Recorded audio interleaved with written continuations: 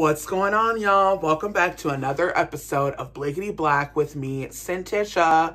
Today we are uplifting and talking about two prolific hidden figures of the civil rights movement because a lot of people don't even know who they are and they should be household names.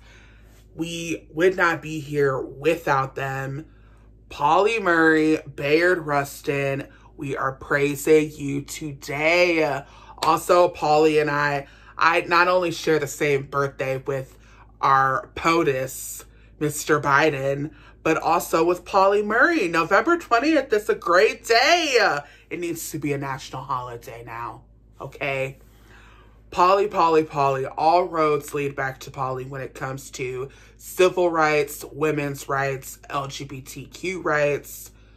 This woman was truly so instrumental in, in all of the movements. You know, her life motto was don't get mad, get smart. And she spent so much of her life educating herself. She went to Howard, she studied law. She actually tried to go to Harvard, but was denied, not for her race, but for her sex.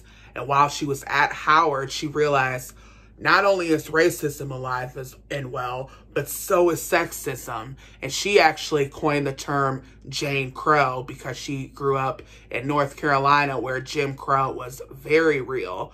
So she's studying law and she writes a book called States Law Race versus Color. And the chief counsel of the NAACP reads this book and claims it to be the Bible of the civil rights movement, and that was Thurgood Marshall. And Thurgood Marshall loved Polly, and he loved her legal voice and used so much of her approach and her skills for Brown versus Board. So, like, if it wasn't for her, who knows if his art, I mean, Thurgood was a pretty cocky, like he had swag. Before swag, Thurgood Marshall had it. So he definitely would have won regardless, but Pauli had so much to do with that, okay? So this happens. And then 15 years before Rosa Parks is arrested for sitting in the front of the, the bus, Pauli did it first. Pauli did it first. Pauli did it first, okay? So she links up with Martin Luther King and Rosa Parks again, and she is all in it for civil rights. You know, she is in Alabama with them. They are doing these boycotts. She even gets arrested at one of them, but something that Pauli dealt with while on top of doing all this for other people, her inner struggle was her sexuality and her her gender. And when she was arrested, she used the name Oliver. And she would pass, you know, as a man. And um, she was married for a brief time, but most of her relationships were with women. So it was something that was LGBT was very important to her, but she wasn't fully out yet. But the people around her knew that she was taking testosterone and you know, having a relationship, having relationships with women. So then in 1961, John F. Kennedy appoints her to the Women's Representation Council.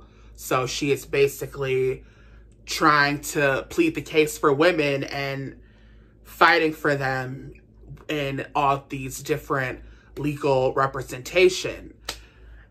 And eventually she links up with RBG, with Ruth Bader Ginsburg, and she helps her write Reed versus Reed. And RBG definitely gave Pauli credit for her contribution to Reed versus Reed. But, you know, Pauli is really not talked about.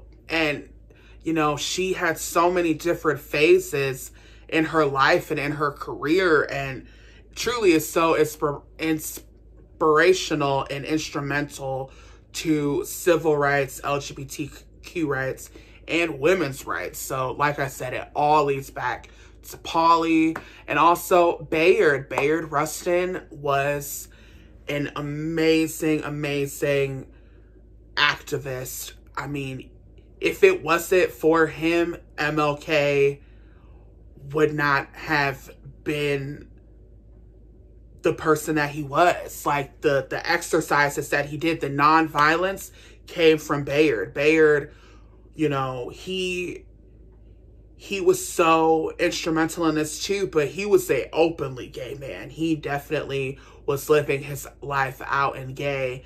And unfortunately, you know, back in the day, he was caught in, you know, a, a sexual situation with some men. And although it was legally squashed, it was something that was always brought to attention. And he was the one who organized the March on Washington. And him and Dr. King had gotten close, but you know, the trial and him being gay, like he he said that MLK never had an issue with him being gay, but it was always kind of looped into things. So when the, it came to the march, the NAACP and all the organizations said, you can't be the face of this. Like, you're going to have to be in the cut because, you know, with all of your stuff and being gay, like, we don't want that to take precedent over the issue at hand. So he had to take a step back and let everybody else kind of do that. And that's basically how his career was. I mean, he went to India. He was a true pacifist and was all about nonviolence. And that obviously influenced so much of Martin Luther King. And that comes from Bayard. And he was so huge in LGBTQ rights and fighting until the day he died for the rights of everyone. And, you know, that's something that they both cared about was once, you know, we could vote and women could vote and just trying to make it better for everyone because we're not free until we're all free. So Pauli, Bayard, thank you for everything. Truly wouldn't be here without you and we thank you. And I thank you guys for watching another episode of Blankety Black and I will see you very soon.